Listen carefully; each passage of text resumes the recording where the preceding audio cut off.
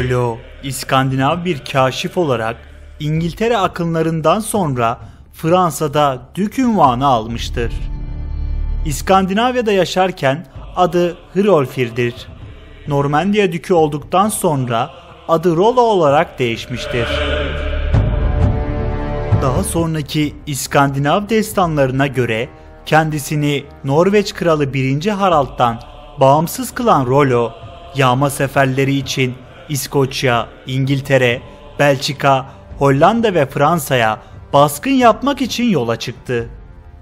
10. yüzyılın başlarında Rollo'nun Danimarka ordusu Fransa'ya saldırdı ve Sen Nehri boyunca bir bölgeye yerleşti. Fransa kralı 3. Charles Paris kuşatmasını durdurdu. Onu Cartres yakınlarında yenilgiye uğrattı ve Saint Clair Subde anlaşmasını müzakere ederek ona Nestruyan'ın Normandiya denilen kısmını verdi. Rollo buna karşılık eşkıyalığına son vermeyi kabul etti.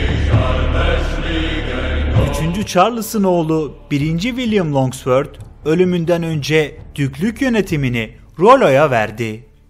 Rollo 912 yılında vaftiz edildi. Ancak bir pagan olarak öldüğü söylenmektedir. Kanala abone olmayı ve bildirimleri açmayı unutmayın. Hoşçakalın.